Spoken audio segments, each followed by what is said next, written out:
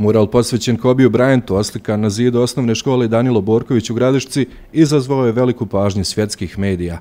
Vijest da je u Gradišci oslikan najveći evropski mural Kobija Bryanta veličine 12 puta 6 metara, prenijeli su i brojni regionalni mediji te portali specializovani za košarku.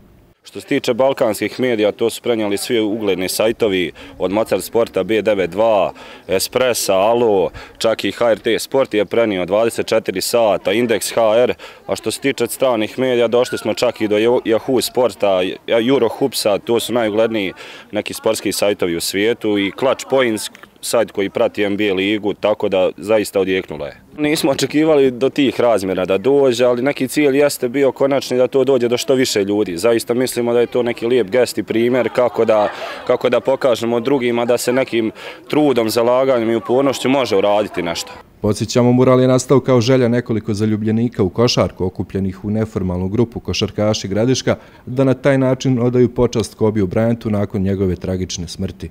Pa ko bi, je bio moj uzor i bio je uzor ovih mojih drugara ovaj, iz grupe građana košarkaši Gradiška i svih ostalih mladi i košarkaša koji su odrasli ovdje, tako smo došli na ideju da napravimo njegov mural i da mu odamo počast jer je tragično izgubio život u helikopterskoj nasreći. Put od ideje do realizacije je bio trnovit. Javili su se brojni kritičari koji su smatrali da Kobiju tu nije mjesto.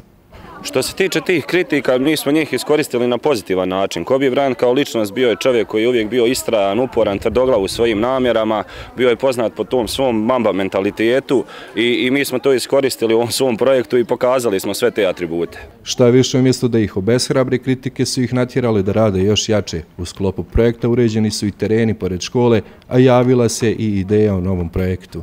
U sklopu projekta osim murala uređeno je futbalsko igralište, uređeno je košarkaško igralište, stavili smo nove obručeve, nove table i u cilju je još renoviranje klupa i ljuljački i pravljenje vanjske časme na igralištu. U planu je novi projekat, tu radimo još četiri murala. Jedan od njih je Nikola Jokić, druga je Tijana Bošković i tu su još Novak Đuković i Sale Đurđević. Mislim da će to zadovoljiti sve apetite, pa čak i ove kritičare kojima Bryant nije bio po želji. Neformalnu grupu građana košarkaši Gradiška čine bivši i aktivni košarkaši, ljudi koji su čitav život u sportu i koji će fokus svog djelovanja staviti na promovisanje sporta i sportista.